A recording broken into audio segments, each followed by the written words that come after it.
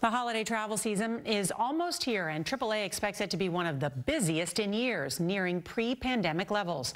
But Americans will be paying more this year just to get to their Thanksgiving destinations. CBS's Kris Van Cleave is at Reagan National Airport. Be it by car, by train, or by plane, the Thanksgiving travel rush is about to take off like it's 2019. Mariah Pollard is heading to North Carolina. Our family's getting older and we don't have that many opportunities to all get together. AAA expects nearly 55 million to travel 50 miles or more this year, the third busiest Thanksgiving on record.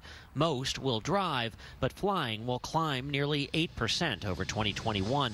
Trips by train, bus, or cruise ship will jump 23%, but it will all cost more. With the desire for people to get back together with loved ones, they're going to do it no matter what the cost. Gas prices are up on average 34 cents a gallon over last year. Hotels up 6%, and airfare has jumped 43%. As I was looking to travel to Florida, it was up at six, seven hundred dollars a ticket. New Yorker Sharon Harari is waiting to see her family until she finds a better deal. I am going to miss everybody, but hopefully I will see them in January when I come visit.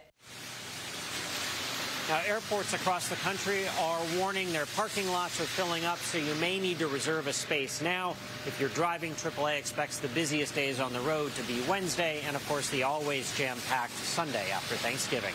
Norah? Good information, Kris Van Cleave. Thank you.